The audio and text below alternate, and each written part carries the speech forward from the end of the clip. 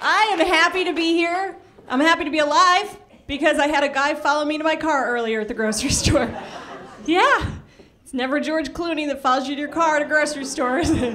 no, this guy had a tattoo that said, just do me. Yeah. No, on his face. On his face. He had about four teeth in his mouth.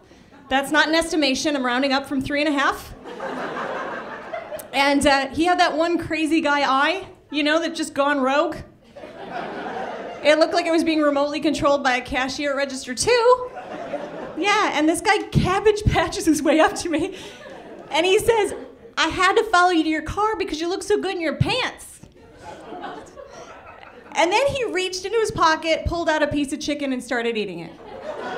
Yeah. Every girl's dream. So as I'm loading my groceries into my car, going, gee, I wonder where they're gonna find my body eventually, he says, Are you married? I'm like, Oh, yeah, I am. I'm married. And then he says, What did you do that for? What about everyone else? And uh, I snapped. I did. I was like, you know what? No one cared that I was single before I got married. Nobody cared. You know, where were you when I had to pay my cousin $50 to take me to the prom? Where were you then? Yeah.